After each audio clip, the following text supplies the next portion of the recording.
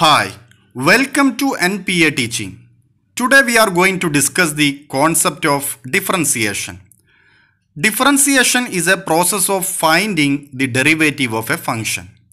It's all about finding the rate of change of one quantity compared to another.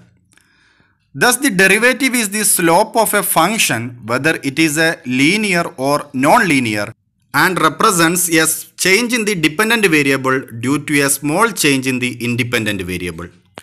The concept of derivative is extensively used in economics and managerial decision making, especially in solving the problems of optimization, which means finding the conditions for maximum or minimum to occur, such as profit maximization, cost minimization, output and revenue maximization.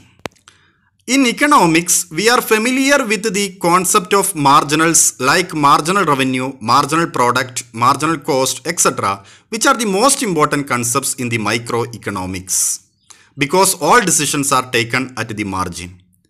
It is nothing but addition to something while changing another variable. Through the process of differentiation or by taking the derivative, we can find the concept of marginals. Thus, differentiation is a process of finding the rate at which a variable quantity is changing. It is also concerned with the determination of the rate of change in the dependent variable for a given small change in the independent variable. Let x be an independent variable and y is the dependent variable which is depending upon x. Then y is the function of x that is y is the function of x.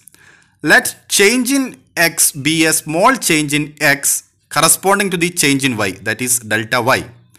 Then delta y divided by delta x which means change in y divided by change in x is called incremental ratio.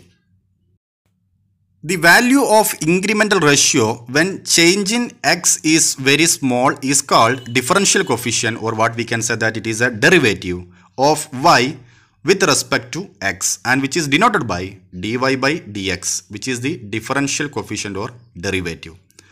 That is dy by dx which is equal to limit change in y divided by change in x where change in x approaches to 0. So dy by dx implies that the derivative of y with respect to x. The derivative of a function can be written in many different ways if y is equal to f of x, the derivative can be expressed as dy dx or f prime x or y prime or df dx or d dx f of x or dx f of x. So you can express the derivative of a function in these different ways. For example, if y is equal to 5x square plus 7x plus 12, then the derivative can be written as y prime or dy dx or d dx 5x square plus 7x plus 12 or dx into 5x square plus 7x plus 12. In these ways you can write the given function. Take this example that is if z is equal to root 8t minus 3 then the derivative can be expressed as z prime dz dt d dt root 8t minus 3 or dt into the root 8 t minus 3. The basic difference between the differentiation and derivative is the differentiation is the process of getting derivative.